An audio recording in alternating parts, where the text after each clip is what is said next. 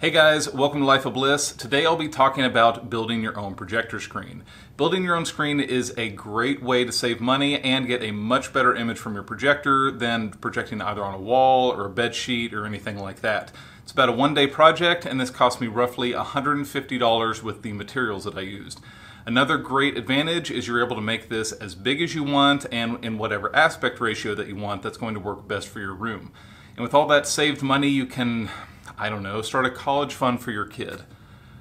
Or put on some backlight LEDs. Sorry, son. So behind me is the 120 inch screen that I built from the FlexiGray material from Carl's Place. Carl's Place is an online retailer that sells many different materials to help you build a DIY screen. If you haven't seen my video that compares three different materials from Carl's Place in different lighting environments, be sure to check that out. That is a very helpful tool to help you decide which material is going to look best in your situation. But this video is more about the build process, so let's get started. First, we'll start with the screen. A 120 inch 16 by 9 aspect ratio screen is what will work best in my setting. The math is pretty straightforward, but to be absolutely sure the measurements are correct, there are many screen size calculators out there. This one I'm using is from projectorscreens.com. Since an exact 120 inch diagonal screen wasn't the prettiest numbers, I went slightly smaller to get my dimensions. This particular calculator lets you choose other aspect ratios as well and is a quick reference to make sure your numbers are accurate. Now if you want a borderless screen, these are the numbers you'll need and you're ready to go. If you plan on adding a black border with felt tape like I'll be doing later, you'll need to add the thickness of the border to each side. You do not want to add this number to the aspect ratio dimensions as your ratio will be off. For example, my roughly 120 inch screen is 104 inches wide. I will be adding a 1.25 inch border on each side, so I need to add 2.5 inches total to my width, giving me 106.5 inches. The same with the height, adding 2.5 inches to get my final height of 61 inches. Now that's out of the way, on to actually building the frame. For the wood, I went with 1x4 poplar boards. The top and bottom were cut to the exact width, and the sides and center support were all cut 7 inches short of my total height to account for the top and bottom boards. Using a Kreg jig, I put two holes in both ends of the shorter boards and started assembling the frame. It's important to make sure that the boards are flush during this process so the outline of the board doesn't show through your screen. This is the first time I've used a Kreg pocket hole clamp, but for this it worked really well and kept everything flush. To make sure there are no rough edges, it's not a bad idea to flip the frame over and go over the seams with a sander. To attach the frame, I'll be using a French cleat. I already had one half of the cleat already on the wall from my test screen video, so I just need to cut one other board at a 45 degree angle to attach to the screen. Once attached, it will sit against the wall and be held up by the bottom board like this.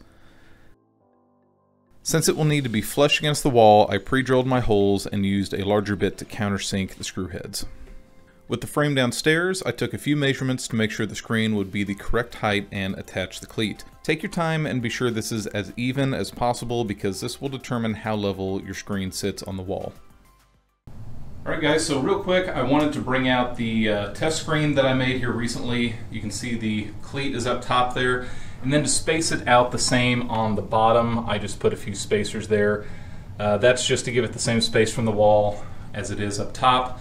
Now on the screen that I'm making over here, I'm not going to be doing that just because for the LED lights there's going to be a perimeter all the way around on the back side of three quarter inch wood.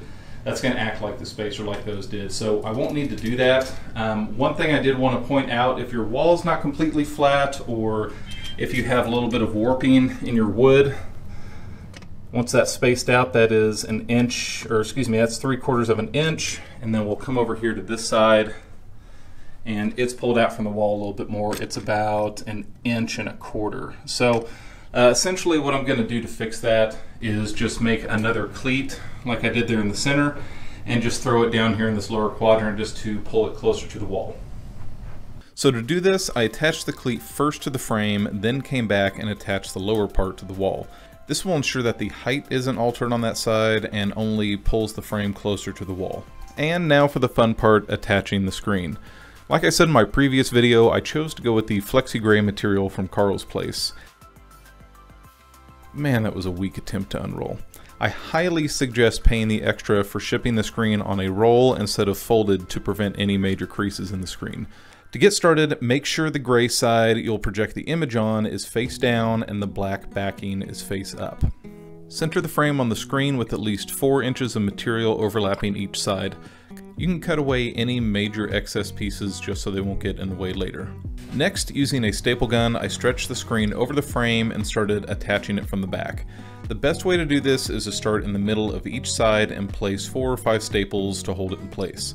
Just like a canvas, you want to work your way from the center out towards the corners. I repeated this process several times, only stapling down 6 to 12 inches at a time. I found that as I pulled the material over the edge of the frame, it helped reduce any minor waves in the screen by also pulling towards the corners as well, almost at a diagonal angle. I secured each side up about 6 inches away from the corners and was able to fold the material over itself to get it nice and tight. Once everything is secure, take some scissors or a sharp razor blade and cut off the excess material. Be extremely careful not to slip off the frame and cut into the face of your brand new screen. That would be a costly mistake. Also, here's a close-up of how I did one of the corners. Finally, stand it up, throw it on the wall, and admire that beautiful rectangle that you just made. So at this point, the screen building process is actually done. If you were looking to have just an edgeless screen like this and not do any LEDs or a black border, this is ready to hang up and go. Um, now that I've gotten this up on the wall, there's no creases, everything looks good. I'm gonna go ahead and take it down, put the LED strips around the back side, and then we'll install the black felt tape for the black border. Alright, so let's switch gears and start talking LEDs. First we'll go back to the table saw where I cut some small strips out of 3 quarter inch thick material to go along the outside edge. This long one here will be nice for the top edge. Ah, well shit.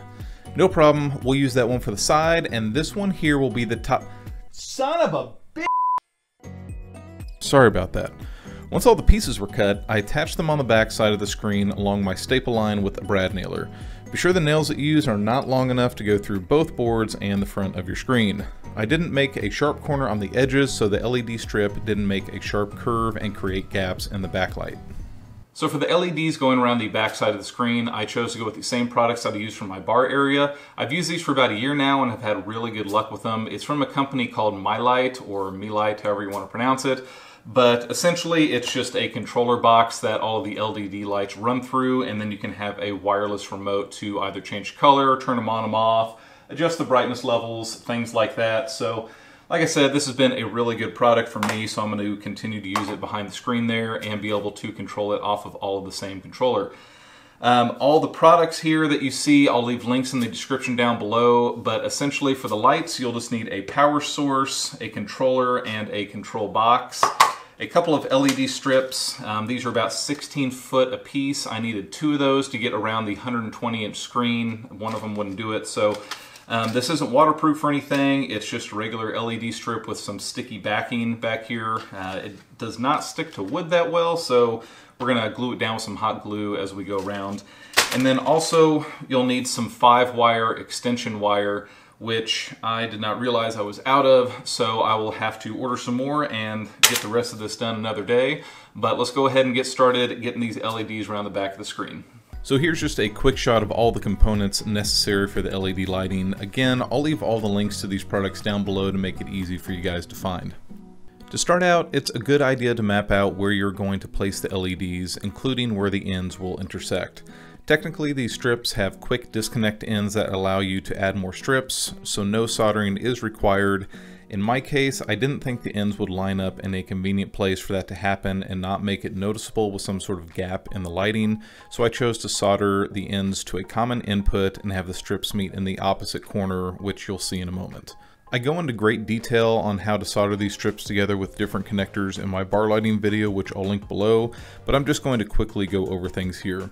I cut the ends off of each strip and soldered those to a few feet of extension wire with a quick disconnect soldered to that end to make one input for both strips.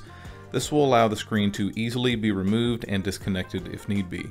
The new extension wire that I got ended up having quick disconnects on it already, so this was the only soldering that needed to be done. After soldering, it's always a good idea to test the lighting to make sure that all of the colors still work. I hid the wires inside the frame and started routing the LEDs around the mounting strips, peeling back the paper to expose the sticky backing. A dab of hot glue was applied every 6 to 8 inches to ensure the strips would not fall off down the road. I worked my way around to the opposite corner where the two strips would meet. To prevent any gaps in light, I looped each strip a bit and tucked the excess inside the frame. Although the black backing should prevent any light from coming through the screen, I overlapped the strips and glued them together to reduce any excess light behind the screen. Alright boys, we're in the home stretch. Last major step is adding the felt tape border from Carl's Place. I wanted a very thin border, so I went with the 2 inch wide tape.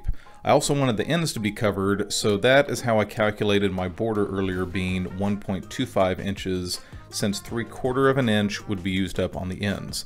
The corners were done by cutting out a 3 quarter inch notch and folding the top and bottom over.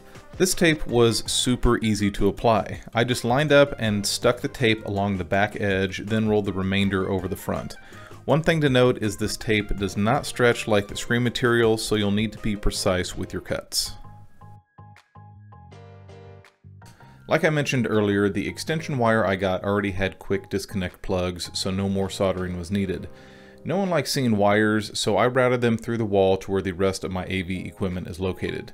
Connecting the LED controller box is pretty self-explanatory, but here's a quick pic of how the wires are connected.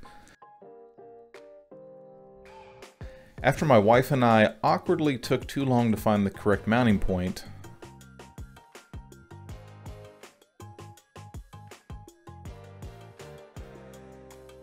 it was finally time to fire it up. Well, that's not good. After a brief Griswold moment, Alright, let's try this again. Oh yeah. Everybody come out quick, look at the lights! Alright, calm down, it's not that impressive. But they do look pretty cool. So as I mentioned earlier, the bar area in my basement is outfitted with the LEDs and controllers from Milight as well. Each remote can control up to four zones, and these have been working flawless for me over the past year. Each zone can be controlled separately, or they can be all synced to do the same colors or functions at the same time. As far as the screen goes, after doing some initial calibration with my projector, the image looks better than it ever has. The FlexiGray material really does a great job in lower ambient light settings, and the blacks look incredible with the room completely dark. Colors are still fairly vibrant and the image is very bright even with my Panasonic projector on eco mode. I honestly couldn't be happier with how easy it was to get such a great image for the cost of the materials. And while the LED lights are a cool feature, I gotta be honest, if I'm watching a serious full-length movie, they're usually off so they don't become a distraction. But I do still think they are a great addition to the room. So there are links for all of the products that I use down in the description below. Just by clicking on those links, you guys do help to build the channel, so I do appreciate all of your support.